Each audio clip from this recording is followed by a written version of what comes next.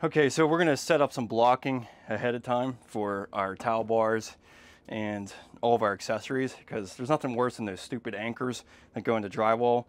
Um, the only ones that really work really great are toggle bolts. The rest of them, you know, eventually they're gonna fall out of the wall. So if you can get some blocking in before it and kind of know an idea of where you wanna put your towel bars, it will make it a lot easier for you.